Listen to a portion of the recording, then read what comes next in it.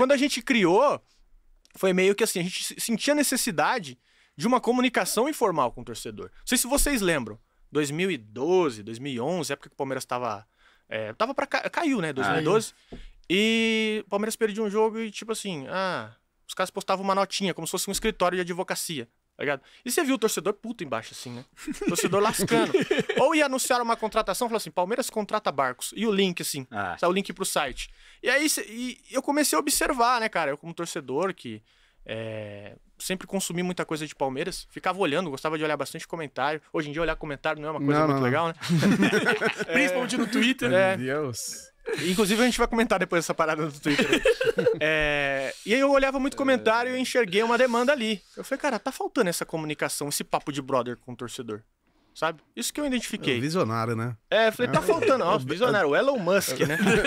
tá faltando essa, essa, essa comunicação com o torcedor. E aí, cara, foi um estouro, de verdade. A gente criou ali entre 2012 e 2013.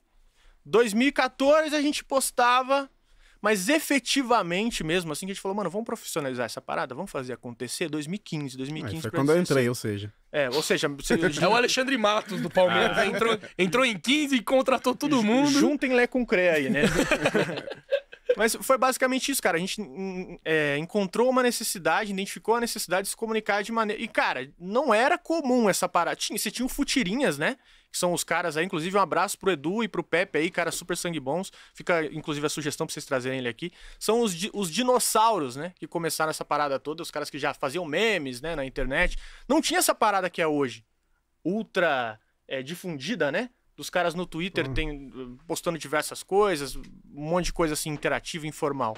Então, a gente meio que começou com uma galera, tinha uma galera já fazendo isso, mas a gente identificou essa lacuna de, de, se comunicar diferente com o torcedor, cara. Eu acho que deu muito certo por isso, que os caras sentiam falta disso. A internet é um ambiente muito para isso, muito descontraído. É, e eu acho isso animal porque eu tava trocando ideia com os caras no, no xixo no, no sábado, e, cara, é por mais que essa no... a gente faz parte de uma nova geração da torcida, vamos dizer assim. Sim.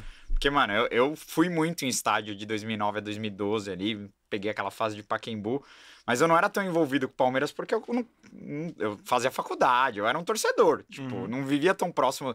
Não... Aí me formei, comecei a trabalhar, aí entrei no nosso palestra, aí sim que eu comecei a, a ganhar certa influência e tal. E, cara, eu, eu, não, eu não gosto de, tipo, é, colo me colocar como alguém que manja pra caralho da história, que, porque eu gosto de valorizar pra caralho uns caras que, mano.